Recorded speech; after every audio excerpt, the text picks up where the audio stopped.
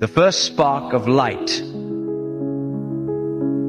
13 billion years ago, the universe was nothing but chaos, heat, particles, darkness.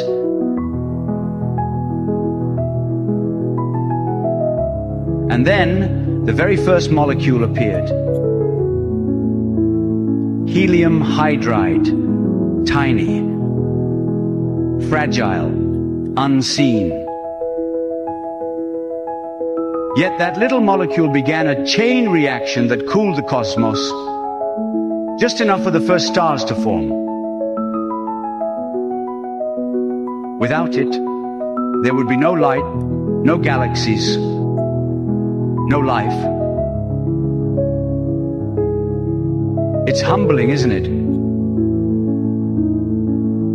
That something so small could tip the balance of the entire universe.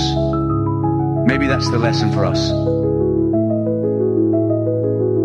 It doesn't take something grand to create change.